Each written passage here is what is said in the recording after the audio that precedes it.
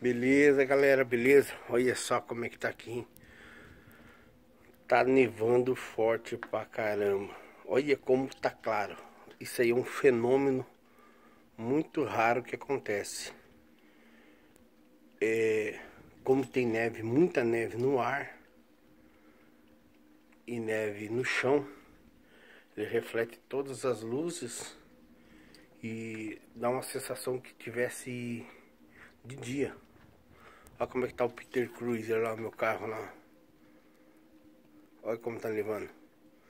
Estou gravando agora, dia sexta-feira, 13, meia-noite aqui na Suíça, 3 horas a mais que no Brasil.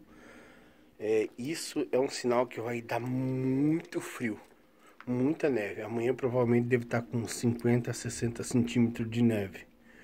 Deve estar com uns 15, uns 15 centímetros de neve e tá dia, praticamente dia dia a dia. Olha só para vocês verem.